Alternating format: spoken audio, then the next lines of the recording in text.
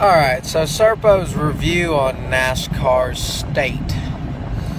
Um, this chase system, not only are 95% of the fans disappointed in it because it's just complete and utter BS. You win 35 races and lose a championship.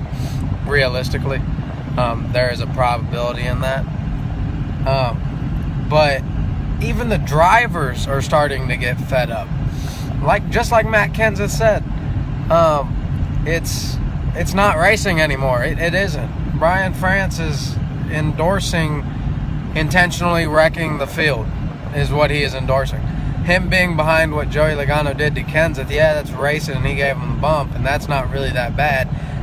And neither is what Newman did to Larson last year. Like if you do a door slam a guy to get the spot, that's that's you know, he's gonna door slam you eventually. So, but what Harvick did is just endorsing let me intentionally wreck the whole field so I can play this chase system we have and win the championship. Um, really, Harvick is, it's a disgrace to call him a champion for that. Uh, but he's playing the system. That's all it is. Uh, and I don't understand why NASCAR approves of that. Uh, it really shows you who has morals, and Harvick obviously has none and Brian France is just a loony for, you know, endorsing any of it. But the boys have at it thing is is great when it all doesn't come down to one race because they're going to wreck the field like Harvick did, and somebody's going to end up dead. You're putting the drivers' lives in danger, and at a super speedway, you're putting the fans' life in danger because had Harvick needed to do that and their car got up in the grandstands kind of like Austin Dillon did at Daytona. Like, what, what, what are we doing here?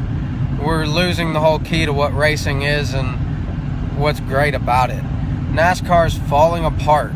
They can't decide and make up their own rules. At the end of the rule book, they have a rule that says these rules are all subject to our discretion. So basically, none of these rules matter. We'll just make it up as we go. Same thing with the green, white, checkered. Just like every analyst and driver said, once that green flag flies, the leader restarts the race. That's an attempt. They made up that rule. I don't know if it was to give the fans a finish or if it was to give Junior an opportunity or what it was, but you can't just do something and then be like, whoa, whoa, whoa, that never happened. Pretend, pretend, restart. No. And you can't let somebody get away with intentionally wrecking half of the field so they can make it on around in the chase. That's just ridiculous. And, uh, you know, it's it's a joke because you know they're going to get somebody killed, and nothing ever changes until somebody dies. I mean, look at Earnhardt with the full face helmet and the Hans device having to be worn. Somebody had to die. Um, it's it's just it's ridiculous, and NASCAR's falling apart, and I think it will because if the drivers are fed up with it, like Denny Hamlin said something like, I, I am sorry to everybody who spent money to come see this circus. It really has turned into a circus. It's not racing anymore. It's manufactured drama. This is not the NBA. This is not college football. This is not NFL. This is NASCAR. This is racing. This isn't supposed to be like this. Like, I don't understand why they had to get away from it. it it's dumb it's a waste. And if I wasn't such a big damn Kyle Busch fan, I wouldn't watch. But uh, they need to fix the chase. They need to fix their rules. They need to stop being so bipolar and making shit up on the fly because it's just falling apart. And if they keep it going this way, a bunch of drivers who honestly have nothing to gain financially, like Kenseth, any driver in the Cup Series that is a top 20 driver has nothing to gain financially they'll just leave and call it quits. I mean, why do you think Burton retired? Why do you think Jeff's retiring? Tony's retiring?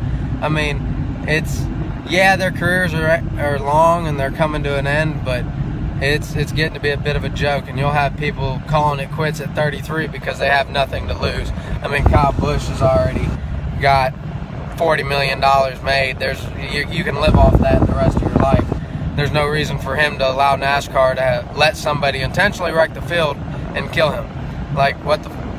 I, I don't even know. It's a joke, and we'll tune in next week for some more shenanigans at Martinsville.